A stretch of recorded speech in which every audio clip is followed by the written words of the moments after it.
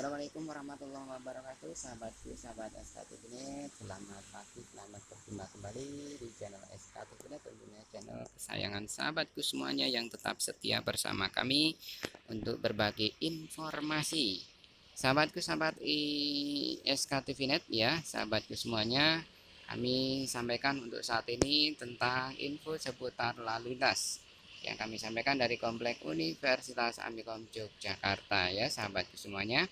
Oke di pagi hari ini pada hari Kamis 30 Desember 2021 pada pukul 6 lebihnya 15 menit waktu Indonesia bagian Barat secara pantuan secara visual untuk lalu lintas di pagi hari ini nampak untuk kendaraan yang melintas dari arah barat menuju ke timur sedangkan dari arah barat menuju dari arah timur menuju ke barat mohon maaf ya sahabatku masih terlihat lengang di pagi hari ini Nah ini nampak untuk kendaraan roda 4 baru saja melintas kendaraan roda 4 sahabatku semuanya dan bagi sahabatku yang kebetulan sedang melakukan perjalanan jauh mengalami lemah, letih bahkan mengantuk ya silakan untuk istirahat sejenak mencari tempat-tempat yang aman untuk uh, beristirahat. Silakan menepikan kendaraan apabila mengalami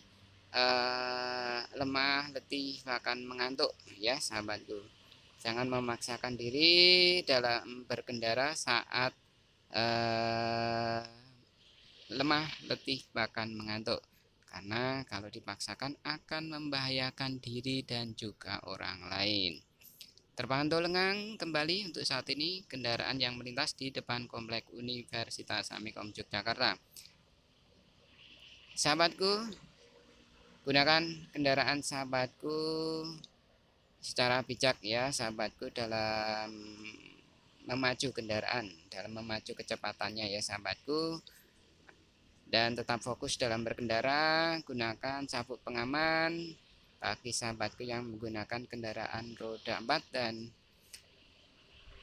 sahabatku gunakan helm standar helm yang sesuai dengan SNI bagi sahabatku yang menggunakan kendaraan roda 2 tak lupa juga sahabatku eh, selalu membawa kelengkapan surat-surat kendaraan ya sahabatku semuanya apabila berkendara.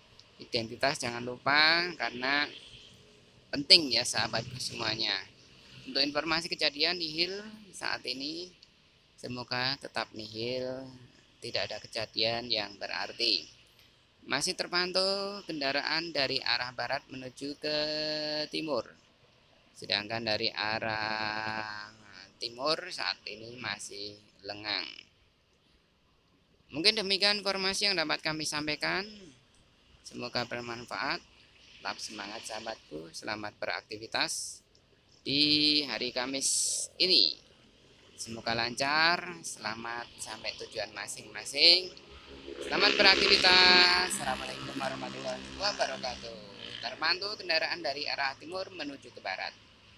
Baik roda 2 maupun roda 4 sahabatku semuanya.